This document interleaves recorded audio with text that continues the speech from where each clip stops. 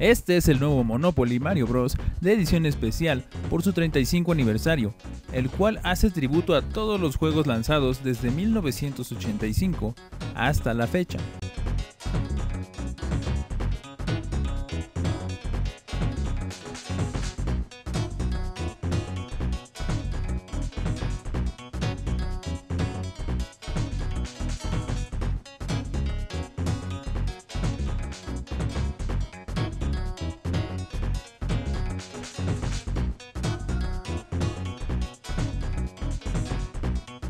Esta edición incluye su tablero, 6 tokens, 6 tarjetas guía, 18 tarjetas de propiedades, 32 tarjetas de arca comunal, 32 casas de Toad, 12 castillos de Peach, un dado, 90 monedas de cartón, un bloque con sonido y el instructivo del juego.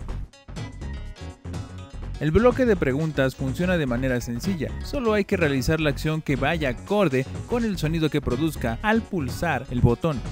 Esta edición, a diferencia de las anteriores, es la más parecida al Monopoly clásico. Se recomienda iniciar con 30 monedas y una tarjeta de recordatorio. Para decidir quién moverá primero, todos los jugadores deberán lanzar el dado y se ordenarán según el puntaje obtenido, de mayor a menor. Comenzamos desde la casilla de salida y de acuerdo a la casilla donde caigas podrás realizar una respectiva acción. Al obtener ambas propiedades del mismo color podrás colocar casas pagando el precio indicado en cada tarjeta.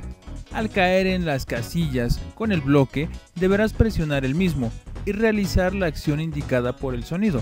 Las casillas con cofres te permiten tomar una tarjeta del arca comunal, con las cuales podrás salir de la cárcel, ganar monedas o pagar al banco según sea el caso.